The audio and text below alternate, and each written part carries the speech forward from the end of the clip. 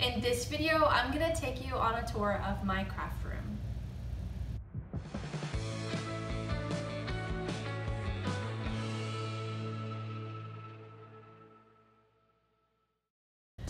Hey there, this is Sarah with the Notorious Needle and I'm all about empowering you to break the rules so you can stitch whatever you want.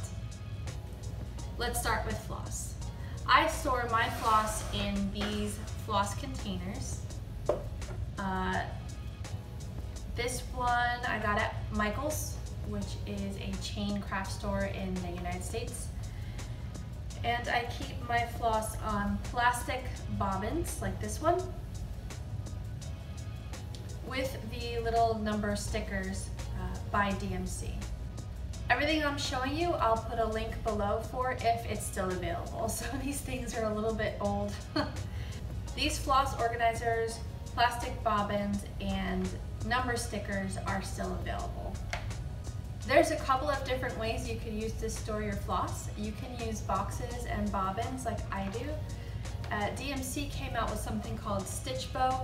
Basically, it's this long plastic thing that you can take the skein right out of the labels and place right on the Stitchbow and then you take you take the label and you attach that to the Stitchbow and then you can put the stitch bow in um, in a binder or uh, a, a, different kind of organizer. They have a couple of they have a couple available at DMC. I don't really like those. I find it harder to get the floss off the Stitchbow than it is to just get it off these little bobbins when I'm ready to use it. I like these because they're smaller. Let's move on to fabric. So I picked up this beautiful tote bag, also at Michael's, and, it matches the Notorious Needle logo colors. So I instantly fell in love.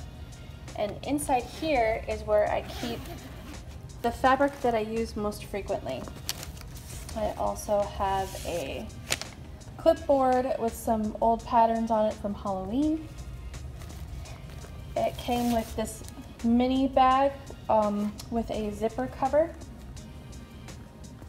And inside this bag I have several finishes. Let's see if I can open it one-handed. Uh, that I'm not sure what I'm gonna do with yet. I haven't decided. You may recognize this one from the Hearts and Dicks collection.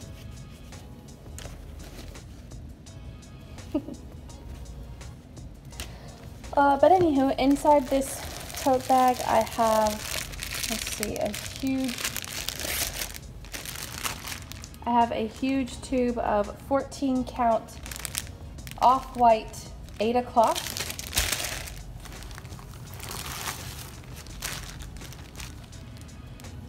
A tube of white 18 count Aida cloth.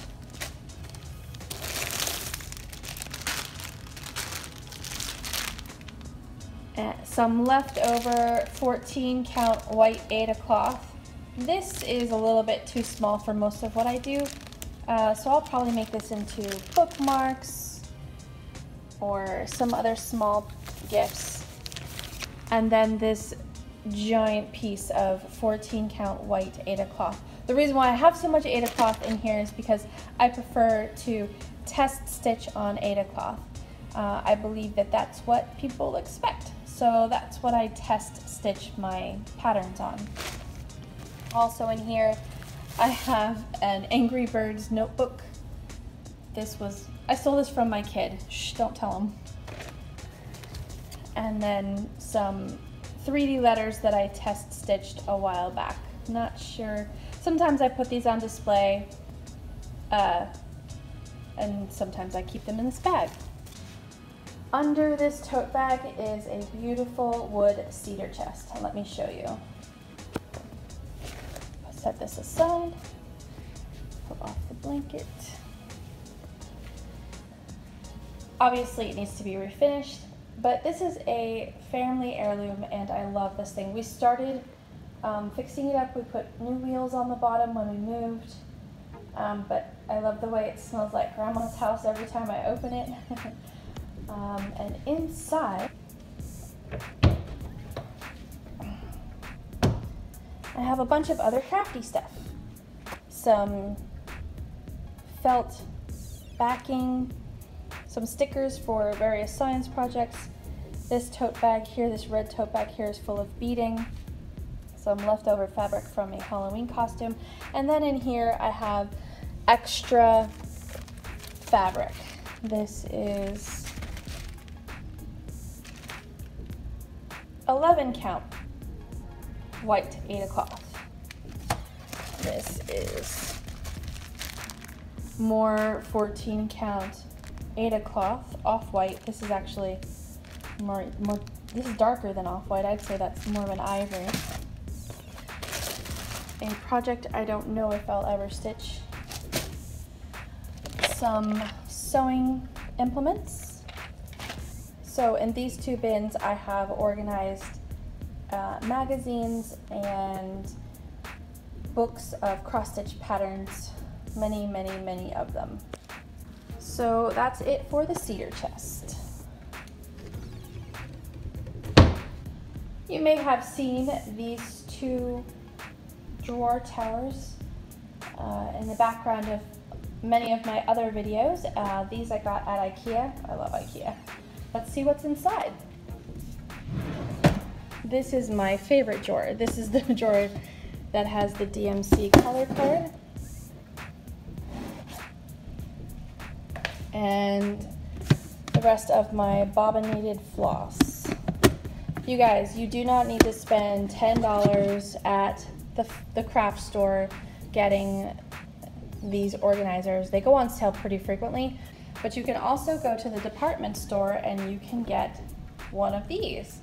This holds, uh, I think this is about uh, over a hundred for sure, maybe 150 um, bobbins of, of um, embroidery floss, and they work great.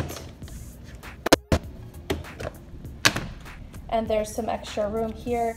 The bobbins won't fit in these pockets, but you can put um, thimbles and I, I haven't, if you have a mini pair of scissors that would fit there and also um, maybe a needle case. And these are like five bucks at the department store.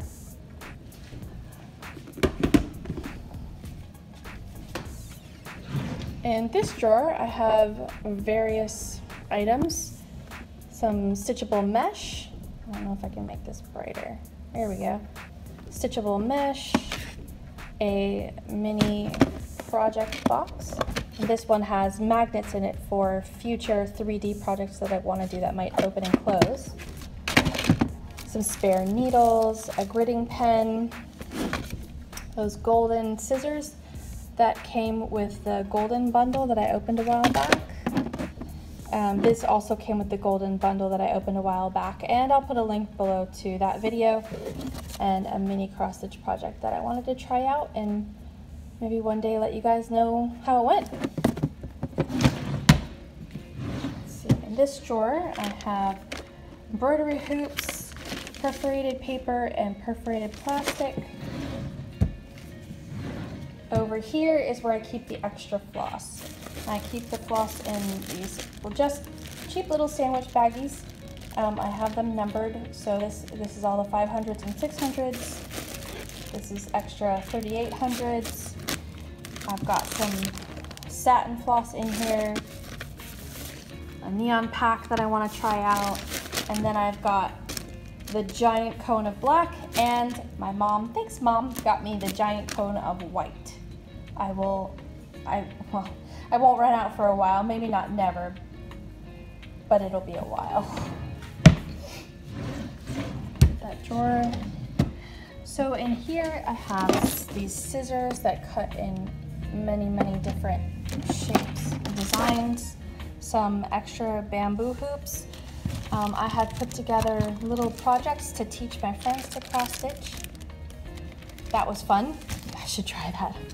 Glue gun, glue sticks, some prototypes of my one of my 3D letters. I think the other ones are in here. Just random stuff. Probably need to clean some of that out. This is um, background paper that I want to use for my photo shoots. Frames that I got at the thrift store. Nice frames, super cheap.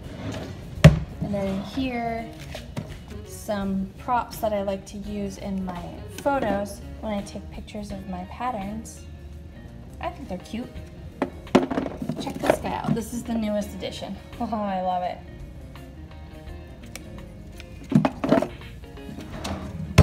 So let's go over here and look at this other cabinet. This cabinet I also got at Ikea. I love it. So inside here, I keep on display a bunch of the physical copies of the X Stitch magazine, which is great. You guys should try it out. I'll put a link below. Not an affiliate, it's just really interesting, different cross stitch stuff. Star Wars, of course. Some plushies that Oscar got for me out of the claw machine. Some of my favorite cross stitch, modern cross stitch books. DMC Golden Collector's Edition that was also in the Golden Bundle video that I opened before a couple of storage bins. Okay, these are actually empty, but I like the color because it goes with the Notorious Needle colors, and I haven't decided what I'm going to put in there yet, so I have to give that some thought. And finally, I wanted to bring you back here so I could show you what's in my whip box. This is the small floral storage box, also from DMC, um, also included in that golden bundle that I unboxed um, with my best friend Rachel. In here, I have scissors, thimble. This is the color I'm working on right now. Here's my orts. Wow, this is only a month's worth. I've been busy. Okay, maybe two months worth. Um, here's another thimble. This one's actually a little bit more comfortable. Uh, I have these, I don't, I don't remember what these are called, these plastic ones, but these aren't for pushing the needle through, rather for gripping and pulling the needle out. This is my favorite needle minder. And then all the colors that I'm using. I've got three whips in here and two of them use the same colors, so it makes it really easy. And then the third one, I'm, I'm finishing up with the last color. So I've got some extra thread. This is a pattern, some extra thread for those other two patterns, Aida cloth, uh, to start the third whip and then Aida cloth for the second one. And then the first one I'm working on now, so that's not in here.